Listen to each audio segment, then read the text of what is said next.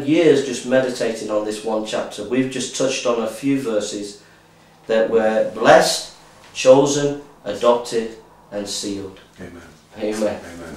Amen. Do you want to close in prayer? Yeah. Yeah. Lord, we just thank you now for um, yeah, that we can come together, Lord, that, you know, we live in a country where we we can be open and, and learn new things about your precious word, Lord.